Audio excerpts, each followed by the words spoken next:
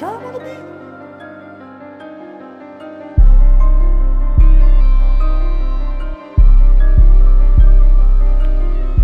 So to start off this cut, I'm going to close my lever all the way and establish my bald line.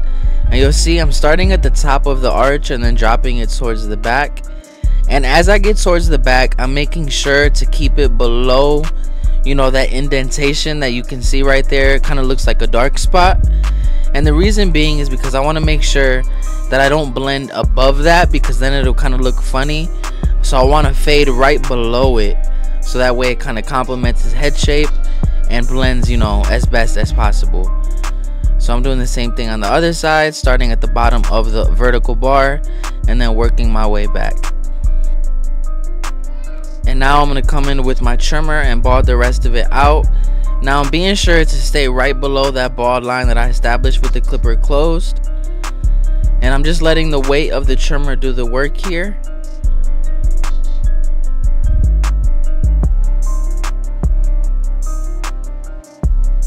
So as you can see, the hair is coming off like butter. And shout out to Babyliss for sending me the new Low Pros um, with the interchangeable battery, which is super fire. Definitely recommend if you're looking to get yours, look out on their website or use code Dre Clipper Hands at the barber plug when they're in stock, and we got you with a discount. And now we're gonna come in, lever all the way open, and we're gonna go up about a finger's width here still maintaining that kind of drop shape that we established with our bald line. But as you can see man these clippers definitely hit. They blend nice. They cut well um, I've been using them for probably about a week now. And so far they're good man. I'm loving them. They're giving me no issues with hair. The power is insane. And not to mention man the interchangeable battery is really a game changer because you know when that one dies all I got to do is grab the other one take it off the charger plug this one in and we're ready to go. I don't have to use another clipper. You know I can keep the flow that I maintained all day and now towards the back as you can see I'm making sure to stay below that dark spot because it's a lot easier to blend below it than it is to blend above it. And I just think it looks better. Now above that we're gonna come in with our one guard all the way open. Still doing that same thing. Now with this fade, what I'm to be doing is establishing all my lines going up and then blend them working down.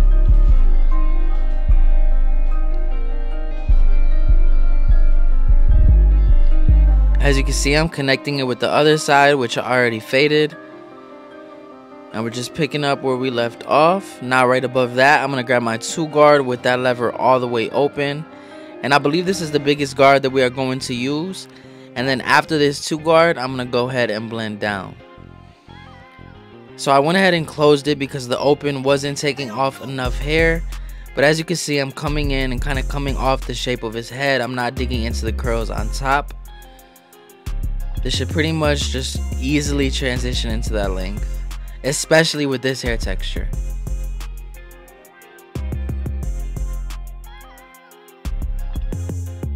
And you'll see that I comb and brush every pass of the clipper and that's because especially with this hair texture it kind of coils up and starts to bunch up. So I want to make sure that I smooth that hair down get it nice and laid so that way when we come in and blend we have no issues now I'm working with that one and a half and I'm starting to blend down here so right now it's all the way closed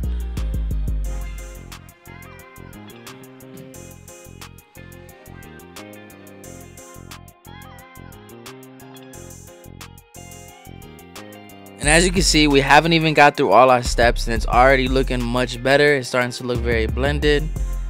But we're just continuing to work, continuing to detail as we go. And now for that line I just pointed out, we're going to come in with our half guard open. And then we'll go ahead and close that little by little until we get that line completely blended. And the system I always like to follow is make sure that I establish my system and my guidelines as quick as possible, then get through that process, and then I'll spend majority of the time detailing and really taking that blend to a whole nother level. So now we're getting towards the back and you can see especially towards the end what leaving that weight did at that um, indentation is it just made it a lot easier. We didn't have to dig into it and, and expose it that much more. Now we coming in with the clipper closed. And we're going to tap at this last line and as we move up, that lever will go ahead and notch it open as we move up. So I'm still closed here. And make sure to go into the line, not stop right at it because in order to blend it, you kind of got to go into it slightly. So make sure that you're doing that. But right here, I'm playing with that lever and opening it little by little.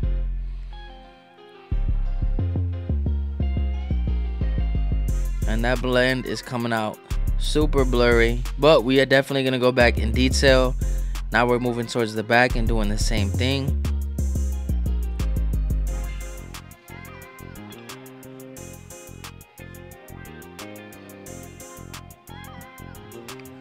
And right here, I'm going to utilize the corner of my trimmer to break up that last line because the clipper close didn't really fully get rid of it.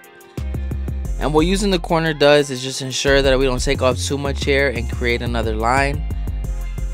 And we're just detailing here.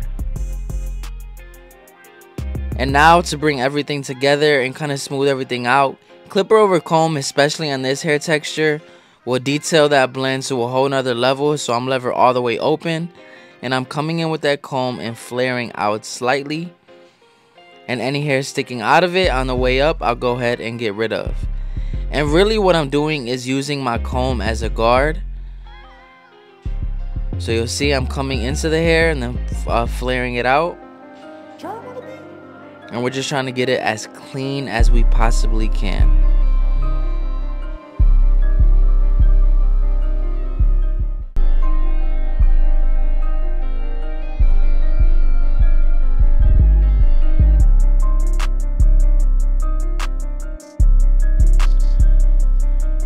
And as you can see, that blend came out nicely. Now we're going to blend into the beard.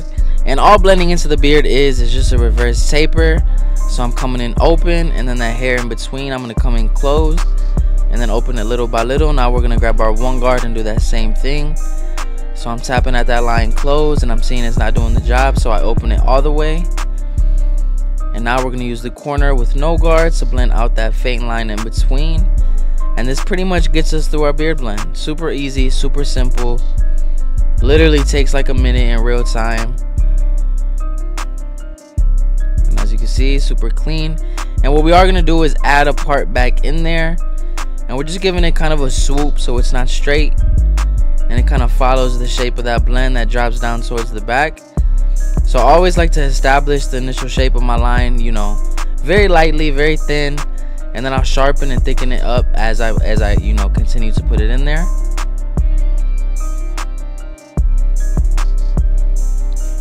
Using the corner of that blade and I'm kind of just drawing just like I would with a pencil.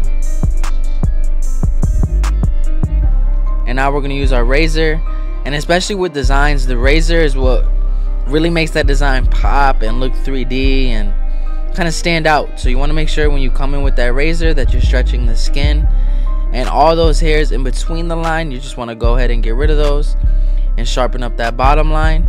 And then when I lean the client back we're gonna go ahead and sharpen up the top line as well. You can already see it's starting to look way cleaner. It's really starting to pop separate itself from the rest of the cut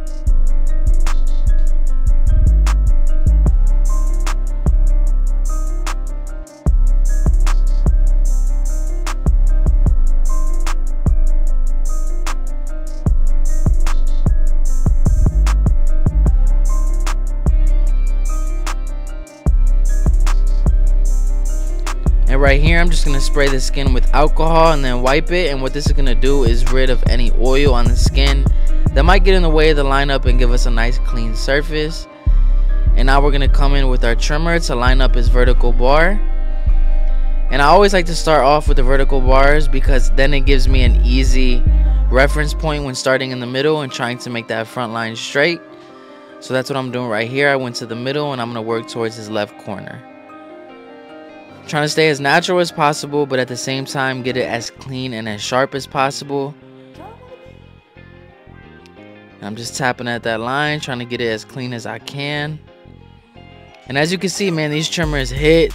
This is without a razor. Very minimal taps with the clipper. And it's already looking clean.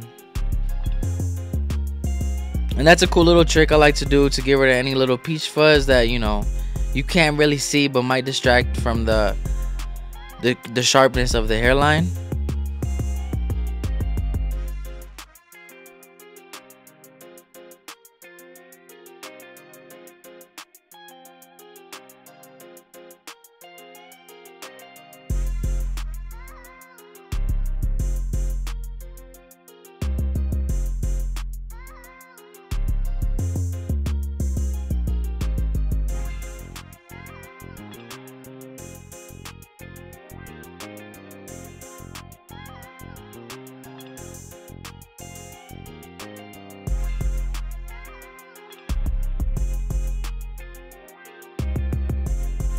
Now I'm going to do the same thing on the other side. I'm going to start off with his vertical bar. And then I'm going to meet that middle to his corner. And the lineup is framing out everything. It's what's really going to make that blend stand out. It's what's going to give his head, you know, from the front view more symmetry. So I want to make sure that I get this as clean as I can.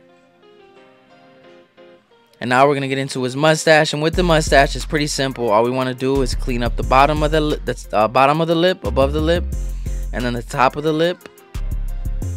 We're gonna thin it out just a little bit. We don't want it super thick, but we also don't want it very thin. And then one trick I like to do is use my shaver to get rid of the stubble. So that way when we come in with the razor, you know, we have a nice clean, smooth shave. And now when using the razor, you want to make sure that you stretch the skin in the opposite direction and then bring everything to the line. And this is what's really going to make the hairline sharp, pop, and last. So you want to make sure that you get this, you know, as good as you can. And when the skin is nice and clean, you should naturally get that white ash line that you might see there. And that's just from the client having clean skin. It's not ashy. That's just a good uh, lineup prep. And now I'm hitting the top of that design like I said I would with the razor. And now we're going to frame out the bottom of the beard. And I believe, especially with people that have smaller or thin beards, the bottom of the beard is really what makes, you know, the beard look dark, look full, and look sharp. Um, so what I like to do is start off with the bottom first. And we want to keep this as natural as possible in the back of the beard. And then on the bottom, I like to raise it to the whatever point the client wants. Where we're just maintaining what he already has. And as you can see, that beard looks a lot cleaner and a lot sharper already. And we didn't even line up the top line. So now I'm going to use my razor to sharpen up his mustache. There's really nothing to this. You want to take your time in that mustache area. And now with the beard, I'm going to start at the bottom of the beard. And establish that line. And then I'll go to the top. And then I'll meet those two points in the middle. And that's how I'm going to get the nice, clean, round shape that we desire.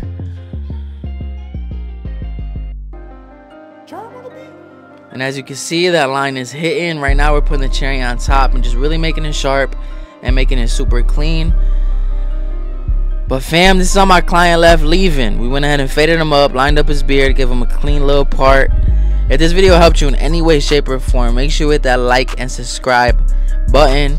And like always, I appreciate y'all, and I will catch you on the next one. Peace.